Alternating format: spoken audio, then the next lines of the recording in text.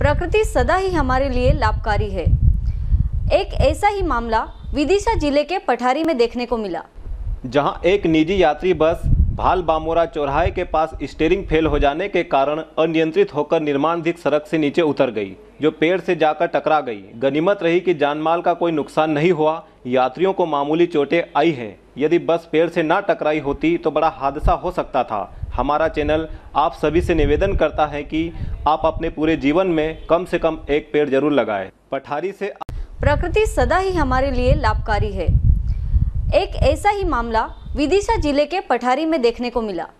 जहाँ एक निजी यात्री बस भाल बामोरा चौराहे के पास स्टीयरिंग फेल हो जाने के कारण अनियंत्रित होकर निर्माणाधीन सड़क से नीचे उतर गई जो पेड़ से जाकर टकरा गई। गनीमत रही कि जानमाल का कोई नुकसान नहीं हुआ। यात्रियों को मामूली चोटें आई हैं। यदि बस पेड़ से ना टकराई होती तो बड़ा हादसा हो सकता था।